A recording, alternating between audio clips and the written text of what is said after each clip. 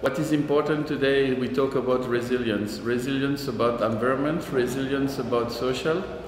And I think we need to link this to resilience to financial resilience. And it's the combination of the three, the financial resilience, the, the resilience of environment, and the resilience of social that will combine together, will create the real value. Today we have a trend to separate each of them.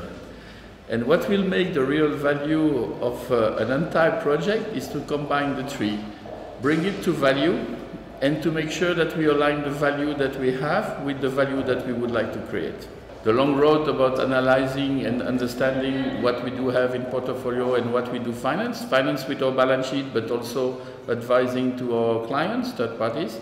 So in that respect, what we have to do, it's first of all making sure that we have a good understanding and a good analysis of the purpose of what we finance or what we would like to advise financing.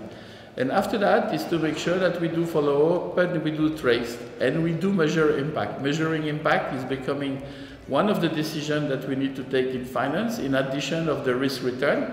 And risk return is already process that we have already put in place. No measuring impact will be important. It means that we are entering in a dynamic process.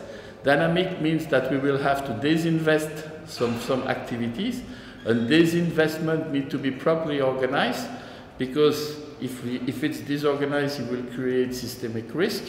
And we have on the other side to reinvest in the new opportunities. To disinvest, you need to have a proper risk management. For opportunities, you need to have a proper identification of new area where we would like to invest, following criteria of risk return and impact investment.